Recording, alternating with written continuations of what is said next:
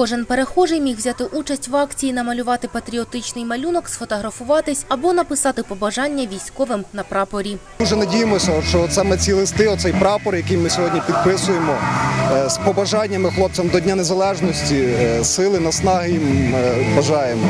Я надіюся, що він їм дасть хоробрості, мужності в тому, щоб відстояти все-таки нашу незалежність. Згодом жовто-блакитний прапор підняли в небо на висоту понад 100 метрів. Взяти участь в патріотичному заході приходили житомиряни різного віку. А учасник АТО Максим розповів, на багатьох державних установах в Житомирі і не лише прапори давно пора поновити. дуже сильно потрібні, тому що в нашому місті не вистачає трошки патріотизму, його треба збільшувати.